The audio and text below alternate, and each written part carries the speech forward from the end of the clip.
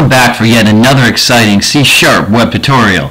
In this one it is part two of Method of Our Madness.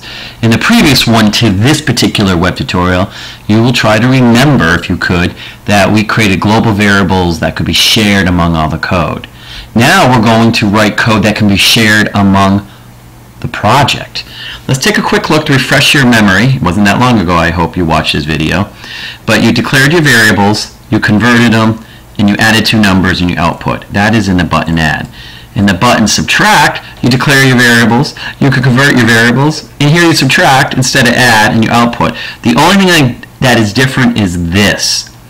And let's go look here. The only difference here is multiply. Wouldn't it be nice if we could share this code throughout?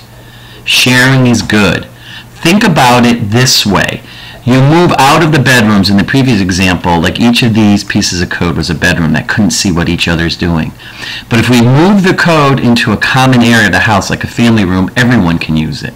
So let's go down below, and you will see outside of any other code, so I'm at the bottom before these curly braces. So for example, let's go to the bottom of the code. Here's button modulus click.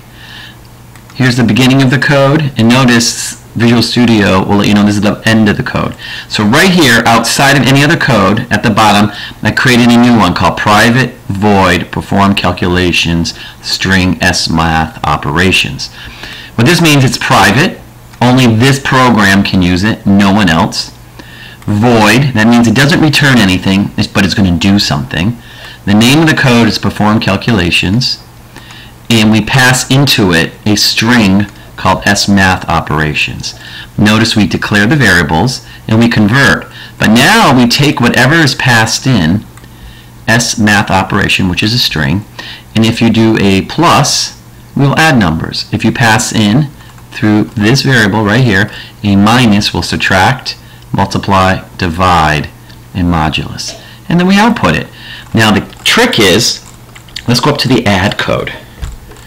We need to call that method.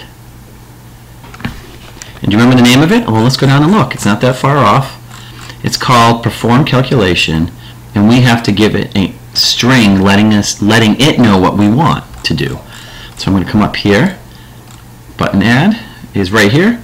We're going to change that to call shared method. The name of it is perform calculations, and it needs a string. String is anything that's within quotes or a string variable. So look, we're going to pass it a plus. And in the subtract code, we get rid of all this because we've already done something with it. And we're going to pass it a minus. And in the multiply, you guessed it, we are going to pass it a star or a asterisk. And in the divide, we're going to do the same thing and we're going to pass it the divide symbol, Oop. divide within quotes, and in here we're going to do the modulus, which is the percent. See how our code got a lot smaller and we can now share the code. There you go, you pass in any one of these values and it does it. Alright, let's put some breakpoints in here to help you fully understand what it's doing. I'm going to put one here in the gutter here. I'm going to put one in the gutter here. How I can make the breakpoints appear is I just put, click in this gray area, or I go on the line and I'm hitting my F9 key, which you can't see me, but you can trust me. I'm doing it. Alright, and let's put a breakpoint right here so we can see what happens. I can't wait to show you this code. Okay, let's put in number 15 and number 8. And let's hit plus. So the code comes in here, we're on the button add click, and we're going to call this piece of code we moved down below and shared and passing in a string which is a plus. If you hover on here, uh, we don't need the hover. And what I'm going to do is I'm going to show you how the debug is how we can watch what's going on into the method. All semester I've been showing you to hit F10 to step over the code, but when we want to go into the method we need an F11. So I'm going to hit F11, not an F10. Something new to excite you in addition to this video.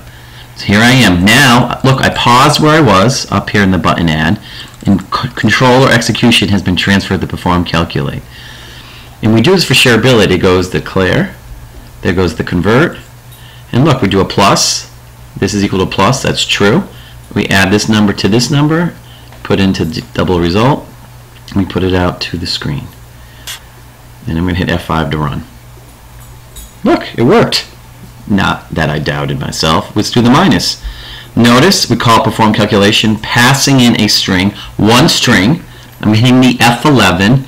Look, it's, it's requiring you to pass a string, so we've met the contract. And step through the code. Notice we're doing a minus. We minus. So we're able to share in one place the variables and the conversion and the output. The only thing I had to code was the if-else statement to differentiate what was passed in. There goes that. Hit F5. Beautiful. Let's do multiply. I'm on a roll. I'm going to hit F11, passing in a string. I take it, I convert, I check for star, I multiply, I hit the end of the code and I go back up to where I started from. I'm not hitting F5 now. I'm hitting F11 so you can see that it called the code and it's done. Now I hit F5. Hey, I'm on a roll. Why stop? I'm going to do F11, declare, convert, do the division. I'm out of there. I go back to the button divide. See, control was passed here temporarily. Now I'm back. And of course, last but not least, the modulus. F11, I go into the perform calculation code. Modulus division does that, hits the end of the curly brace and goes back up to where it was called from, and I continue on. Isn't that exciting? So now what we did is we put the code in one place and we call it. Think of this as, if you ever went to the campus of STCC, we have a cafeteria in Building 2. And we have multiple buildings on the campus. We have Building 20, Building 13, Building 2, and that's where classes happen. We could have put a cafeteria in each one of those buildings, which would require staffing and equipment and costs. But instead, we put the cafeteria central in Building 2, which is convenient for me because I'm in Building 2. And anyone who's in 13 or Building 27 has to come out of their building, go to Building 2 to get their food, and then go back to whatever building they came from. So think of the code as the same way. I'm calling this piece of code, kind of like going to Building 2 to get my food. I come down here, do my thing, and when I hit this end curly brace, I go back to where I came from. To say here. And I'm done. I hope that helped, and I hope you enjoy methods because we'll be using them quite a bit.